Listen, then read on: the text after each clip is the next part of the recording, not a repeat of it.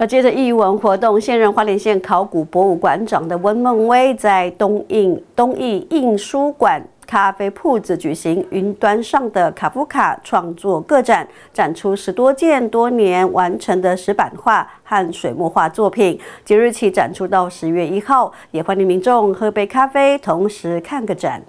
出身新竹，曾任教职，后来专事创作，并移居花莲。现任花莲县考古博物馆馆长的温梦威，已有多年未拾起画笔的他，这次应邀在成为诗人杨牧父亲经营的东艺印书馆咖啡铺子一廊，开办第二档展览——云端上的卡夫卡创作个展，拿出十三件多年前完成的石板画和水墨画作品，一睹博物馆长不为人知的艺术才华。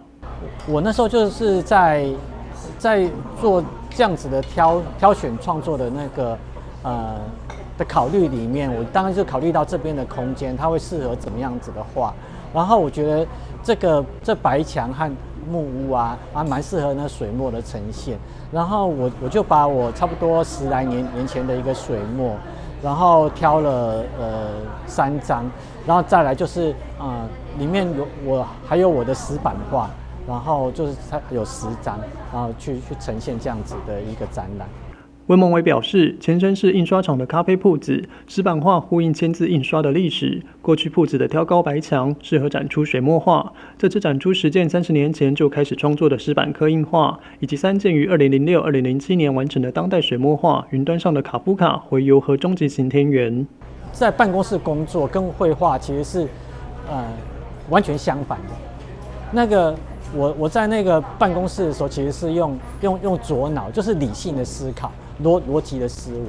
可是绘画其实是右脑的思考，这样子，它它其实是一个图图像性的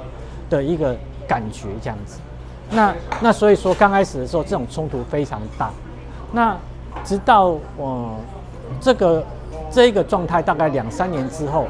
我才发现说，哎，我又进入一个，等我调试过来的时候，发现我进入一个非常健康的状态，就是我的理性跟感性都得到了极大的发挥。就是我在创作上面是感性的，然后我我在我在那个呃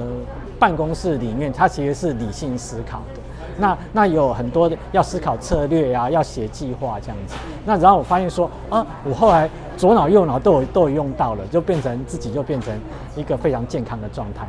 如何在办公室工作和绘画间取得平衡？馆长表示，就像是左右脑的冲突，直到适应调整后，终于为自己理出一个健康的身份转换。尽管年纪大而有了老花眼，但仍会为自己理出时间继续创作。云端上的卡夫卡温梦为创作个展，即日起展出至十月一日，邀请民众喝杯咖啡，同时看个展。记者蒋邦彦华联市报道。